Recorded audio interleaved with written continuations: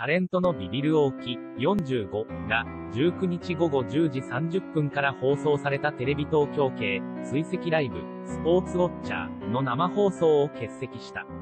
その理由について所属事務所渡辺エンターテインメントは20日、新型コロナウイルス感染症対策として、タレントスタッフともに、収録、撮影時の体温が37度以上になった場合には、その都度番組サイドに報告、相談するようにしております。とした上で、リビル大きにつきまして、昨日の夕方に体温を測った際に37度でしたので、その他には症状はございませんでしたが、その旨番組側に報告し、念のため昨日は収録をお休みさせていただきました、と説明した。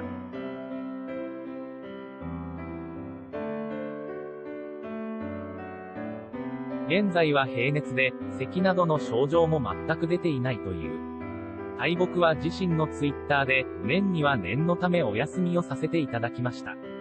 昨日の夜から平熱となってます。先ほども検温し、36.5度でした。